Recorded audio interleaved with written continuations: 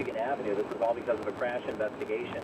We are starting to see some building traffic mainly making its way out of the city. We're watching for delays on the north end of the tri-state as well as into northwest Indiana as people make their way to vacation spots for an extended weekend. Everything's still fine on both sides of the Edens right now. It's 19 minutes each way between Lake Cook and the Kennedy Junction.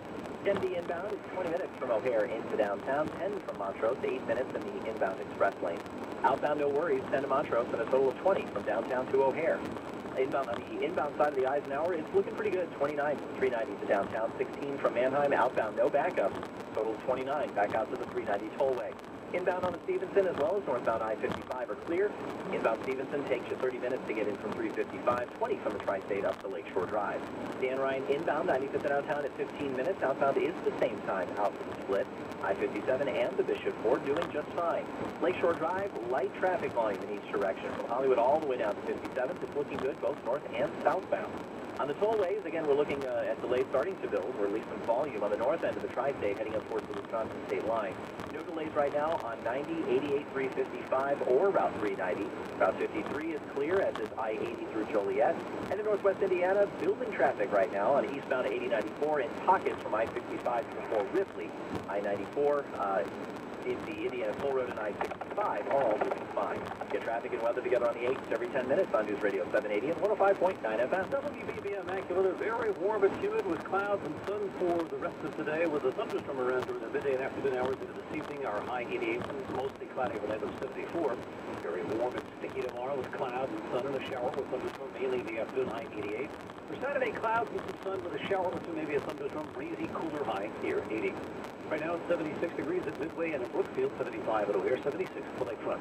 I'm active with meteorologist Joe Lundberg on Chicago's weather station, News Radio 780 at 105.9 FM. WBB News Time, 840. The backlash continues after Nike's decision to pull one of its sneakers. Senators Ted Cruz and Mitch McConnell have joined the campaign of conservative lawmakers and commentators criticizing Nike for shelving its sneaker with the Betsy Ross flag of 13 stars in a circle.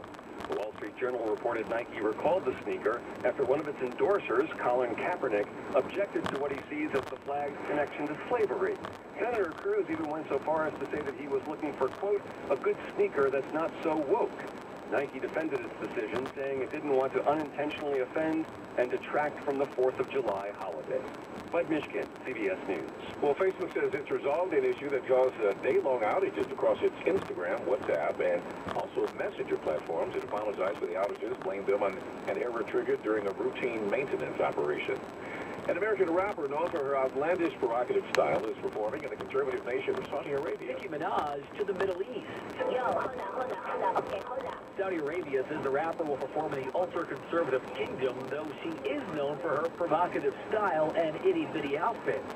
Saudi organizers say she's the headliner of the Jeddah World Fest later this month, as the country attempts to shed decades of restrictions on entertainment. Greatness is what we want to bring down.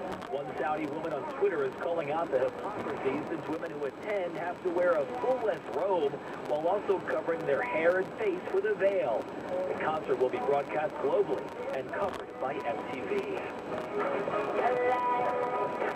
That's my CBS News. News Time, 842. Nothing celebrates the nation's independence like a group of people snarfing down dozens of hot dogs. It's again Simon Nathan's famous July 4th hot dog eating contest on New York's Coney Island Boardwalk. California native and 11-time champion Joey Chestnut will face off against 17 opponents to defend last year's record of 74 dogs and buns in 10 minutes. And Miki Sudo uh, of Las Vegas hopes to win her sixth consecutive women's title. She ate 37 franks last year. Fireworks soon expectedly went up in smoke in South Carolina. It was an early morning, early rockets, red glare. Round two. Firefighters had to dodge exploding rockets as they fought a spectacular blaze that destroyed storage containers filled with fireworks for sale on the 4th of July. No one was hurt in the incident, which happened near the Carowinds Amusement Park in Fort Mill, South Carolina, just south of Charlotte.